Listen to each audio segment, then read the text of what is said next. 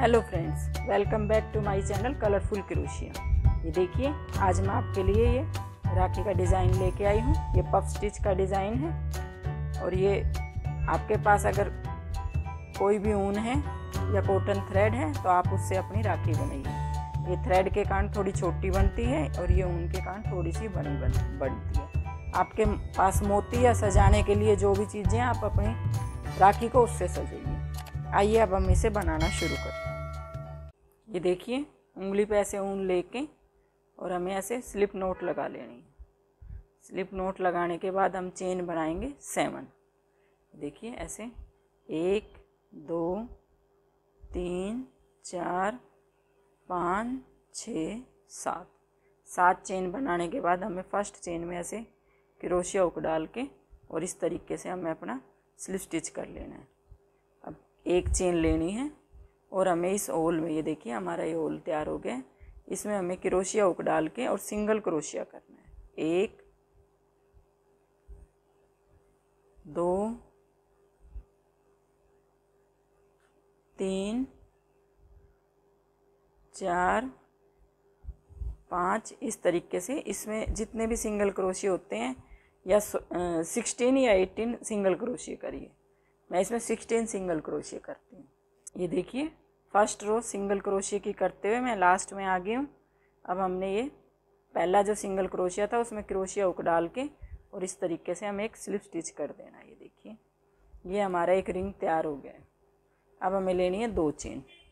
दो चेन, ये देखिए फ्रेंड, दो चेन लेने के बाद इस लूप को थोड़ा बड़ा करके क्रोशिया पे ऊन लेके और इस जो ये हमारा रिंग बना है, इसमें से क्रोशिया उक डाल के और हमें पफ बनाने होंगे इस तरीके से। एक, दो, तीन, चार और ये पाँच। पाँच बार हमने क्रोशिया क्रोशिया पे ऊन लेके और इसमें से ऊन डाल, क्रोशिया को डाल के और हमने पफ बनाए इन सबको क्रोशिया पे ऊन लेके इन सबको एक बार निकाल देंगे, लेकिन क्रोशिया पे दो लूप बचा लेंगे। देखिए लास्ट के। अब इन दोनों को ऊन लेके और एक कर देंगे। अब हमें लेनी है तीन चेन। एक दो, तीन। तीन चेन लेने के बाद ये इस, ये जो गैप है, इसमें से क्रोशिया हुक डाल के और हमें लेनी है पाई को स्टिच बनाने हैं यहाँ पे। देखिए, ऐसे स्लिप स्टिच कर देना है। एक, दो, तीन, चार। फ़र्स्ट में हमने तीन चेन ली थी, दूसरी बार में हम चार चेन लेंगे और इसी जगह से सेम जगह से क्रोशिया हुक डाल के ये देखिए, ये इसमें से स्लिप स्टिच कर देंगे। अब हमें तीन चेन लेनी है। दो, तीन। फिर हमें ऐसे ही इसमें से क्रोशिया उक डाल के और हमें एक ऐसे स्लिप स्टिच कर देना है। ये हमारा पफ और इसके ऊपर ये पाइको स्टिच बन गया ये देखिए, इस तरीके से ये मैंने बनाया है। अब एक चेन लेंगे और अगला पफ हमें बनाना है। अगला पफ हमारा इसी होल में बनेगा। ये देखिए, ऐसे क्रोशिया पे ऊन लेके ऐसे इसे थोड़ा लंबा करके एक, दो, तीन, चार और ये पाँच। ये हमारे पाँच बार मैंने क्रोशिए पर ऊन लेके और इसमें से होल में से डाल के पफ बनाना है। ये हमारी पत्तियाँ छः बनेंगी और ये पफ की पत्तियाँ ही बनेंगी, ये देखिए। इन सबको एक साथ निकाल देंगे, लेकिन क्रोशिए पे दो हुक बचा लेंगे। इन दोनों को ऊन लेके एक बार निकाल देंगे। अब हमें लेनी है तीन चेन। एक, दो, तीन। तीन चेन लेने के बाद ये देखिए, ये पफ के ऊपर ये जो गैप है, यहाँ पे हमें क्रोशिया उक डाल के और ऐसे स्लिप स्टिच कर देना है। ये देखिए, एक बार फिर हमें लेनी है चार चेन। एक, दो, तीन। चार। चार चेन लेने के बाद इसी सेम जगह पे हमें डाल के, और ये देखिए इस तरीके से, स्लिप स्टिच कर देंगे। एक, दो, तीन। तीन चेन लेके फिर हम इसी सेम जगह पे डाल के, और स्लिप स्टिच कर देंगे। ये हमारी एक, ये देखिए, पाइको स्टिच बन जाती है। ये हमारे एक पफ और ये दो पफ, और इसके ऊपर ये पाइप, पाइको स्टिच का डिज़ाइन बना है। इससे बहुत सुंदर लगता है। एक चेन लेनी है और क्रोशिए पे ऊन लेके हमें इसी होल में से डाल के और फिर हमें एक पफ बना लेना है। और ये हमारी पत्तियाँ पफ की छः बनेंगी। ये देखिए। एक, दो, तीन, चार, पाँच। पाँच बार ऊन लेके क्रोशिए पे और क्रोशिए को डाल के हमें ऐसे पफ बना लेना है। ये देखिए। और इन दोनों को फिर लास्ट में एक कर देंगे। ये देखिए, हमारे तीन पफ बन गए हैं और इसके ऊपर अभी अभी मुझे पाई को स्टिच बनाना है। देखिए, एक, दो, तीन। फ़र्स्ट में और लास्ट में तीन तीन चेन लेनी है और बीच वाले में हमें चार चेन लेनी है।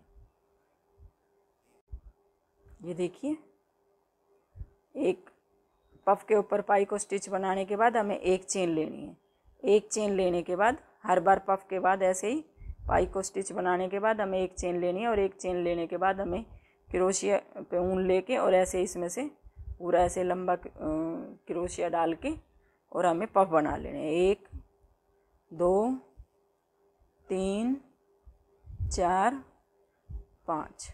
देखिए, इन सबको एक बार निकाल देंगे क्रोशिए पे दो हम बचा लेंगे। इन दोनों को फिर ऊन लेके एक कर देंगे। ये देखिए, इस तरीके से मेरे ये पफ और उसके ऊपर ये पाई को स्टिच का डिज़ाइन बनता जाएगा। ये देखने में बहुत ही सुंदर लगता है। ये देखिए फ्रेंड, मेरे छः पफ कंप्लीट हो गए हैं और अब हमें ये इसके ऊपर पाई को स्टिच भी बना लिया है।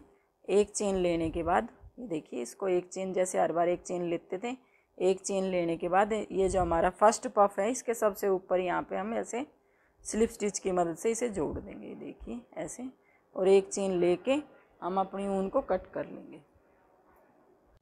ये देखिए, कैंची से कट करने के बाद सुई की मदद से या क्रोशिए की मदद से हम अपनी इस ऊन को पीछे की तरफ़ ले जाके, ऐसे दो तीन बार इसमें से निकाल के और इसे टक कर लेंगे। देखिए दो तीन बार इसमें से निकाल देंगे ताकि ये खुले ना। अब इसे हम एक्स्ट्रा ऊन को कैंची से काट देंगे। ये हमारी पफ फ्लावर वाली राखी तैयार होगी अब हमें इसमें लगानी है डोरी।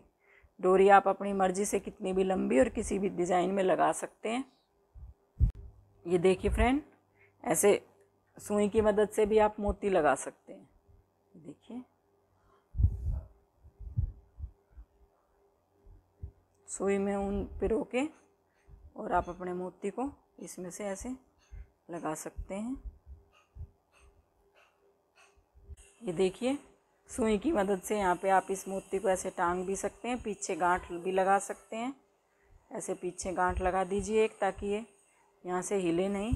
और क्रोशिए की मदद से ये तीन पत्तियाँ, एक, दो, तीन तीन इधर रख के और तीन इधर रख के यहाँ पे इसको डोरी को अटैच कर दीजिए। देखिए, ऐसे इस तरीके से। और सुई में